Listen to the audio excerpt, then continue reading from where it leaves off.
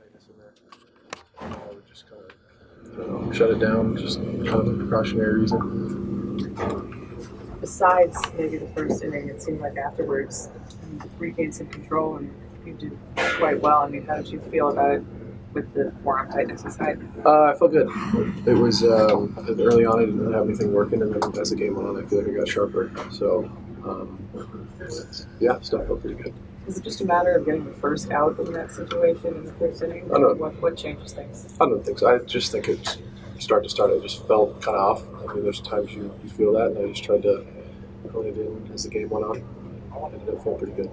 I don't want to put words not be scared and be able to worried. I don't know. I really have no control over it, so I didn't, I'm not really thinking about it until I get an MRI. Um, but yeah, like I said, I can't do anything, so I just take it how it is.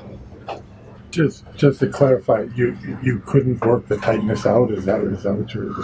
Uh, no, not in the middle of anything. Um, I just felt it for a couple pitches, so I, I didn't. Yeah, I don't know how to work it out in the middle of anything.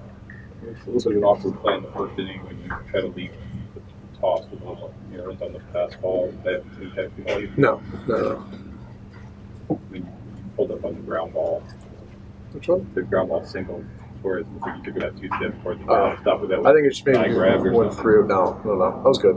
It was just uh, nothing really until the last inning. Okay, yeah, you mentioned something about something with your thigh or something like that. It, yeah, like, no, felt good. Yeah.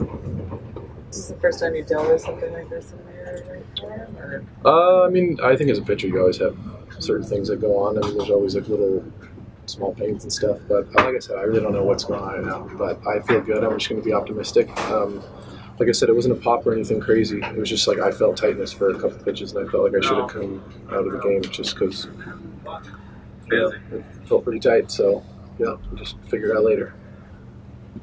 You it feels better now. Yeah, I mean that's the thing too. It's not like there's like any pain or anything. It just was this really strange feeling, and I just thought it'd be better to, to come out and not chance things. I just think feeling it for that many pitches probably uh, just a good time to come out. So kind of the whole at bat with the five pitch bat. Yeah, yeah, yeah. So Thanks. thanks to